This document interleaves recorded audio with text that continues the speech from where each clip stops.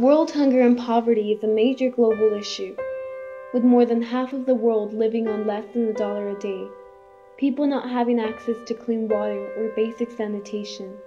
They are left vulnerable to diseases because of the lack of medicine.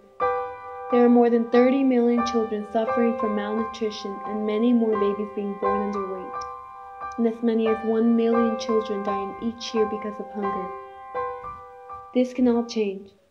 We propose that every country invest 1% of their GDP into meaningful programs to end world hunger and poverty all around the world. We want countries to invest $30 billion per year into ending world hunger and poverty. The cost will be great, but the benefits will be even greater. We could get enough money from different countries, and at the end, every country will benefit greatly. Let's end world hunger and poverty all around the world, together.